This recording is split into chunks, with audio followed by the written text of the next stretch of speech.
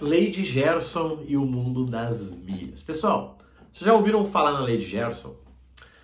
A de Gerson, né, a gente fala em lei, mas na verdade é uma, uma piadinha que rolou. Se eu não me engano, uh, época de 70, tinha um jogador que era o Gerson e que ele fez uma propaganda, né, ele falava sobre nós deveríamos tirar vantagens em tudo, senão não valeria a pena, né? Inclusive tirar vantagem quando a gente não tirou vantagem, tá? E, e isso pegou como sendo a lei de Gerson. O que, que, é isso? É só fazer coisas que eu tire vantagem. Só que é seguinte, tirar vantagem não é algo legal. Porque tirar vantagem é alguém ter que perder, tá? Imagina que eu vendo meu carro para você. Eu vou lá, cara, meu carro custa 20 mil. Você vai lá e paga 20 mil, eu te entrego o carro. Você disse, olha, para mim esse carro vale 20 mil e eu digo, para mim vale a pena vender 20 mil. Negócio feito.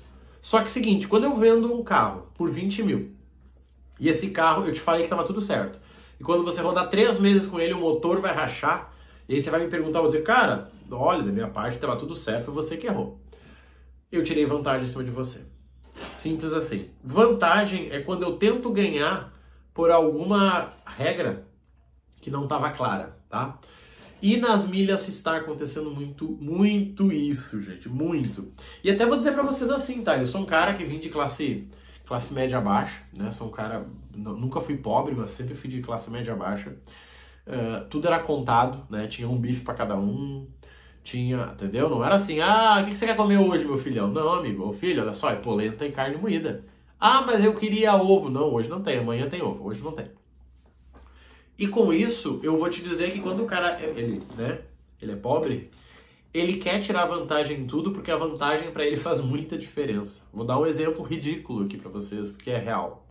Olha só, quando eu comecei a crescer lá, 10 anos de idade, minha mãe dizia, filho, vai no mercado comprar um negócio para nós? Tá bom. Minha mãe me dava 10 reais, dizia, ó, compra carne moída e creme de leite. E olha só, gente, olha como isso é forte. E ela dizia assim, pode pegar lá os dois, dando certo, tá tudo, tudo belezinha. Tá bom, o que, que eu fazia? Eu comprava uma carne moída que custava, sei lá, naquela época, tá? Custava 7,43 para que o caixa me desse o, o, o retorno de 10 centavos de 7,50. Ou seja, ao invés de ele me dar 7 centavos, como um centavo sempre foi uma moeda difícil de conseguir, ele me dava 10 centavos. Porque eu achava que com aquilo que eu tinha tirado vantagem. Se eu fosse comprar algo e o caixa me desse o troco errado, 50 centavos a mais, eu ficava com dinheiro e dizia, eita, me dei. Por quê? Porque eu era uma criança e para mim 50 centavos fazia muita diferença na minha vida. Obviamente que, né, eu sempre fazia, uh, eu entendi, né, minha mãe me disse, olha, meu filho, quando você fica com dinheiro de alguém, aquela pessoa se ferra. E isso não é legal. Então, assim, quando você viu que alguém fez algo errado, você vai lá e devolve o dinheiro, porque essa pessoa vai pagar por isso e não é justo. E aí, né, eu fui me, me moldando. Mas entenda o seguinte, quando a gente fala de lei de Gerson, é isso, é você querer tirar vantagem sempre. Infelizmente, eu vejo uma galera do mundo das milhas vivendo assim. O cara vai comprar meu curso ele pergunta, Marrone, teu treinamento posso pagar com milhas? Você não, amigo. Marrone, seu treinamento eu posso pagar com, com pontos livelo? Ou seja, sempre quer tirar uma vantagem. Marrone, posso esperar chegar o meu cartão que pontua 2.5 para que eu possa comprar o teu, o teu treinamento e ganhar pontuação mais? Pode. Mas entenda que ele está com desconto e o desconto vai acabar. Ah, mas tu não segura para mim? Ou seja, eu quero tirar vantagem. Gente, isso funciona, tá? Eu vou dizer para vocês, isso funciona. Mas funciona no nível baixo. É isso que a gente tem que entender. Funciona no nível baixo. Quando você vai para um jogo alto, um jogo de alto nível, não existe mais tirar vantagem. Tá? E vou dizer duas coisas aqui. Primeira, porque nenhuma vantagem fica com você por muito tempo, você perde ela. E segundo, porque o mundo é um lugar cheio de leis. E a gente fala de leis espirituais. E quando você acha que você se deu bem, você pode se ferrar, tá? Principalmente ligado a dinheiro. E quando a gente está falando de mundo de negócios, gente, você nunca mais faz negócio com algumas pessoas porque você é um cara que tira vantagem e isso complica demais. Tem um cara que eu gosto muito dele, tá? Eu admiro demais o trabalho dele. Meu sonho é um dia poder conhecer ele pessoalmente, que é o Roberto Justus. Gosto dele porque ele sempre trabalhou com propaganda e eu sempre fui um cara do marketing, né? Então fez sentido. E ele comenta uma história que uma vez ele estava negociando com um vendedor e aí ele foi negociando, negociando e o vendedor disse, cara, então tá, vou fazer por 5 mil. E o vendedor ficou triste. Ele disse, cara, que droga. Ele disse, mas peraí, o senhor vendeu para mim, por que o senhor está triste? Olha, porque com 5 mil não vou ter margem. Ou seja, o vendedor ia fazer um negócio para poder fazer negócio, só para girar o dinheiro, mas ele não teria lucro. E ele disse pro vendedor, cara, me diz uma coisa, por quanto para você ficaria bom? O vendedor, ah, 5,200. Ele, então tá bom, vai ser 5,200. Essa história se repercutiu no meio, entre os fornecedores da empresa dele, e todo mundo ficou sabendo, cara, o Roberto Justus é um cara justo, né? Parece uma, uma piada. Por que, que isso é interessante? Porque nesse momento todas as pessoas querem fazer negócio com você porque você se tornou um cara íntegro.